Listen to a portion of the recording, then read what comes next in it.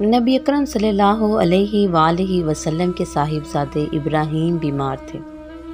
मस्जिद नबवी में किसी ने आकर बताया कि बेटे की हालत ज़्यादा ख़राब हो गई है नबी अकरम सल्लल्लाहु अलैहि वसल्लम के आपकी चाल, खुराम, बल्कि मुखराम के हवाले से मशहूर थी।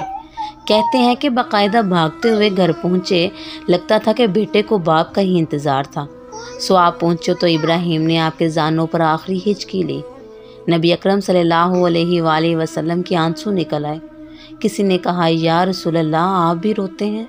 आपने फरमाया, आँख आँसू बहाती है और दिल गम ज़दा है, मगर हम वही बात ज़ुबान से निकालते हैं जिससे हमारा रब खुश हो जाए। और बिलाशुबा ए इब्राहिम, हम तुम्हारी जुदाई से बहुत ज़्यादा गमगीन हैं।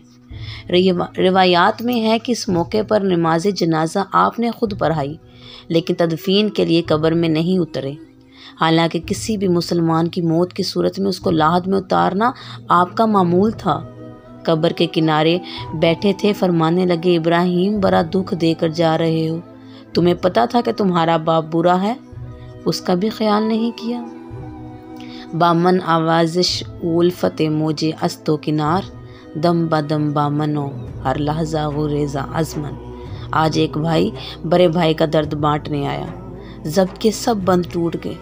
शिकस्ता दिल बाप को भाई का कंधा मिला तो आँसू सील रवा बन गए।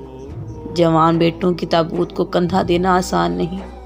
मौलाना तारिक जमील साहिब अल्लाह आपको ये दुख सहने की हिम्मत, हौसला और सब्र अता फरमाए। अल्लाह आपसे राज़ी हूँ।